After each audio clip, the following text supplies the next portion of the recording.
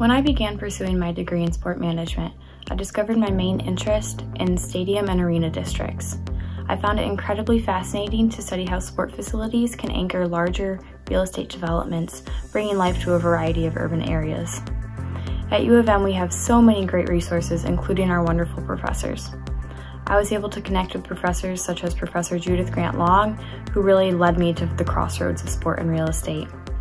Being able to study real estate alongside of programs such as sport management opens up so many additional opportunities to see how the power and influence of sport can affect the world around us.